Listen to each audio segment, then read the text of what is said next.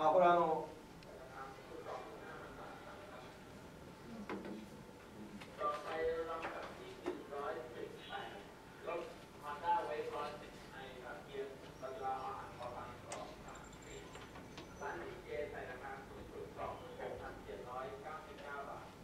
2万6000バーツで売れましたね今。大体今2年落ちぐらいで売ってましたね。2年落ちで、えーと、このもともとの価格が多分4万ーツぐらいですので2万6000バーツで2年落ちで売れたっていう感じですね今の言ったの。は今それぐらいの価格感覚で、まあ、こうやって売ってるんですね、まあ、あの非常にローカルな状態ですが、まあ、これを我々が自分で自社でオークションやってます。ですので、まあ、中間マージンもないし流動性も非常に高いし完全に自分たちでコントロールして売り切れているというのが現状ですね。はい、ありがとうございます。それではあの見ていただいたところで、え次のように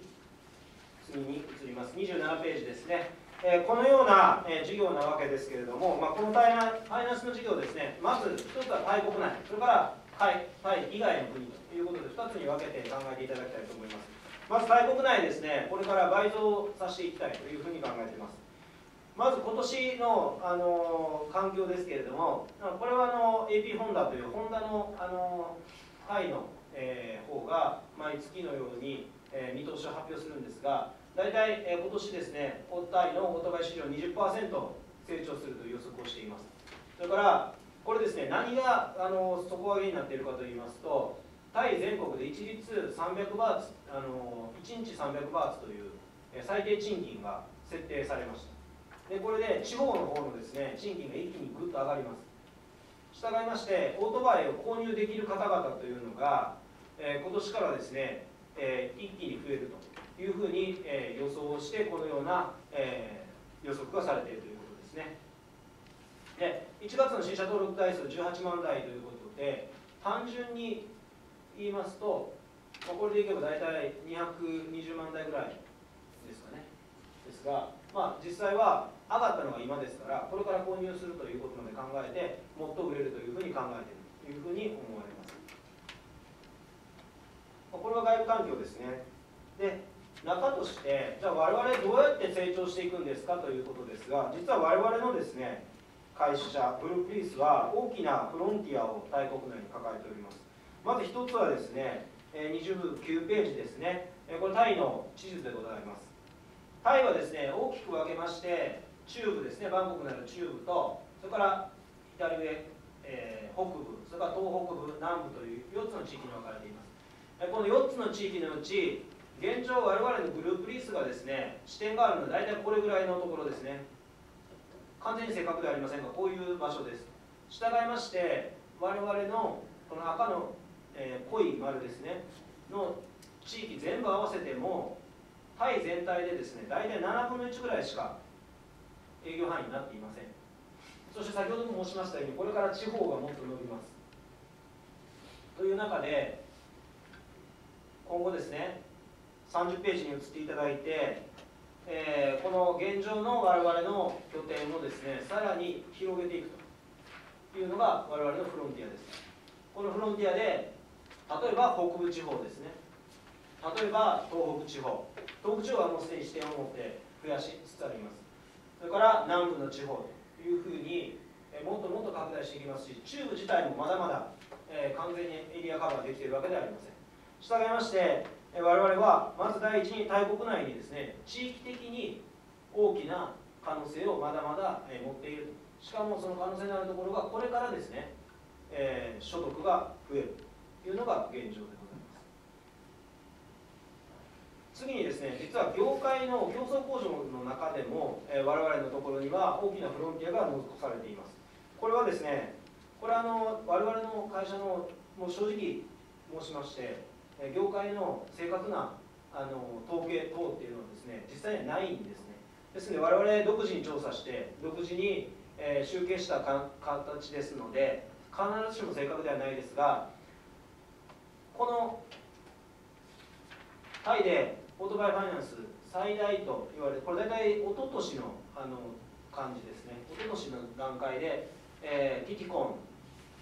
そしてユタヤ GL というふうに我々3番目です。多分今年はあ昨年は2番だったと思います。でこの中で実はファイナンスカンパニーがファイナンス全体でですね占めている割合って結構小さいんです。最も多いところでも12%合計してもですねいわゆるディーラーファイナンスつまり売ってる人がファイナンスをしてお客さんに売っていると自分でですね。これが非常に多くてこれは60%あるんです。でここはですね実はディーラーさんを売るためにはファイナンスをしますがファイナンスやはり相当な金額のお金がいりますね。で資金的にも3ヶ月あのバイクを売るんであれば買ってきて売るまで、まあ、せいぜい最後の数ヶ月のストックでいいわけですがこれはあの数年間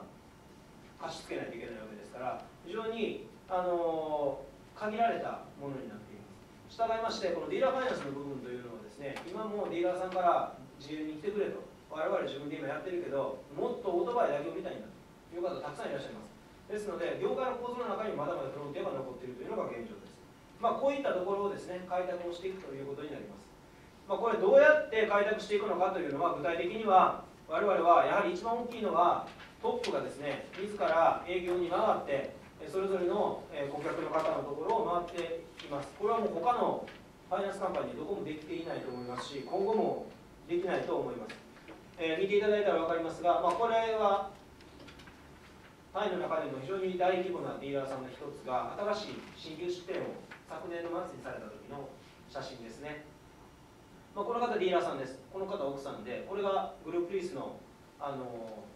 現状 CEO でウエッジホールディングスの前会長でありますこの下三辻ですね。私の兄にあたりますがが出席した、まあ、それが私ですね。のこういうあの式典がありこの新規の例えば開店の日ですね。この日というのはディーラーさんにとって勝負です。何百台1日で売らないといけない。でそれをファイナンスしてくれってこうなるわけですね。こういった時にこう見ていただくこの緑の服を着てるのが我々のスタッフです。これだけのスタッフをそのディーラーさんの求めに応じて投入し現地でその場で、えー、全てのあの判断をしていくというようなことをやったりとかあるいはこの方がそのディーラーさんですね。この方と、ま、この下ですね CEO とそれから、えー、ソムチャイといいまして彼はあのタイ人で、えー、グループリースの現在え COO をやってますがこういった人間がですね行ってオーナーさんの話を聞いてオーナーさんの求めに応じるというのをトップが自らやるこういった形で大きなディーラーさん小さなディーラーさん皆さんをグループリースを推薦していただくと。いう形に持っていっているというのが我々の現状の強みです。まこちらはカンボジアの方でのこの下がえカンボジアのディーラーと話をしているところですね、まあ、こういった形で、えー具体的に我々はえ営業を進めているというところです。まあ、従いまして今までのところまとめますと今後の成長を支える戦略としては地域的なフロンティアを開拓する。業界構造的なフロンティアも開拓します、まあ、その中でトップはですねトップの現場営業。それから圧倒的に他社に比べて速い審査スピードですこの2つによって今後成長をタイの中で果たしていくということになっています。まあ、現状ですね、34ページを見ていただきますと、えー、タイ国内のファイナス事業はですね、さらなる事業拡大を追求しておりまして、えー、2011年の結果の契約台数3000台を、えー、このあの第4クォーターですね、7000台まで増やしました。2倍以上まで増やしております。月のですね。これを1月はですね、8000台を超えました。今年中に月1万台平均に持っていくというのが我々の現状の目標でございますではファイナンス事業もう一つはカンボジアに展開しておりますカンボジアの展開は、えー、これはもうまたまとめてですね皆さんに、えー、お話をする時があると思いますので今回は、えー、少し短めにお話しさせていただきますまあ、カンボジアの方ですね、す、えー、で、に我々、えー、GLF という会社をの株式を取得して、新市場に進出をすることを決定しております。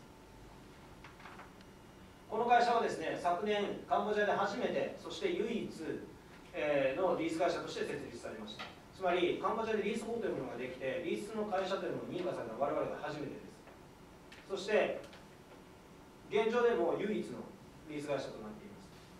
まあ、こういう会社でを作ってカンボジアに進出したということですね。で、まあ、こうやってホンダの正規ディーラーですね。ホンダあのカンボジアですはですねオートバイの市場として非常に特殊で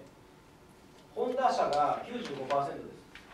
で僕本当かなと思ってですねこの間先々週ですねカンボジアでずっと地方を回っていた時にあのー、あちこちに行く時に止まってるバイク確認してきました。やっぱり10台に1台もホンダじゃないバイクっていうのはないですね現実には。ですのでまあもうほぼホンダが全てです。あのカンボジアにおいては。ヤマハの方ここにいらっしゃらないですね。別にヤマハがダメだって言ってるわけじゃなくて現実にそうだということを言ってるだけですね。でホンダの方は、まあ、こういった形で売ってるんですがそこのホンダの正規販売店においては我々以外はリースができません。こういう計画、えー、契約を、えー、これから7年間続きます。ですのでオートバイファイナンスという一点に関しては我々は独占企業になります。従いましてカンボジアでは我々は初めてのリース会社でありそして唯一の会社でありますけれども今後も7年間独占的にリースを展開できる企業になります。まあ、2012年の間にプノンペン全体に、えー、広げました。プノンペンは、えー、カンボジアの、えー、全体の中でいうと約45%のオートバイが売られているのがプノンペンです、まあ、こういった形でいろいろ、えー、この40ページですね見ていただきますと今新しい商品ですからパブリシティを上げるためにいろいろな活動をしています。これが、えー、こういったものですね。でじゃあ ASEAN 全体でこれから広げていくとどういう形ですかということをご説明しますと ASEAN は2種類のオートバイ市場があります。非常に巨大な市場ですね。それはインドネシア約800万台。そして、えー、ベトナム約400万台。そしてタイ約200万台。この3つが非常に巨大市場です。それも成熟市場ですね。こういったところではもうすでにファイナンス会社がたくさんあってコンペティションも激しくやっております。こういう3つの市場とそれ以外にカンボジアラオスミャンマー現状は小さな市場です。しかしファイナンスの会社がほとんどない。あるいはない。こういうところですね。こういう場所。この2つに分かれています。ですのであの例えばタイはですねこういう大きさですね、まあ、見ていただけるとカンボジア非常に小さく見えるかもしれませんがこういう小さな市場では我々は新しく会社を作りそして独占的に先行者利益を積み重ねていこうというふうに考えています。同時にタイ以外のですね大きなベトナムであるとかあるいは圧倒的に大きなインドネシアですねこちらはコンペティションも激しいですので M&A 等を通じて、えこの事業を進めていきたいと思います。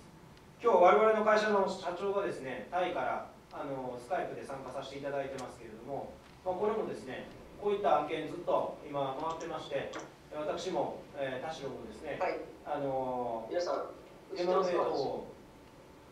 はい、皆さんよろしくお願いします。私、今のグループリースの本社の方におりまして、今日はこちらから参加させてもらっております。先ほどご覧いただいたオークションも今日も開催してますので、えっと、グループあの今日はあのタイの方は休日なんですけど、グループリースはもうほぼ毎日稼働します。そんな状況です。まああのここだけの話っていうわけにいかないですが、あのアナリスト説明会でここだけの話じゃないんですがあの彼がですね向こうに行ったり私もかなり、向こうに行ってますがそれはですねやはり M&A の案件等ですねあの非常に大量に我々は検討しておりまして、まあ、そういったものを通じてこれからの成長を確保していきたいというふうに考えてますので、えー、まあ、具体的なことは今は申し上げませんがあの皆さんにお知らせできる時は来ると思います、まあ、こういう、2つの種類の国々ですねを我々は開拓していくというのが今後の方針であります。これ41ページです。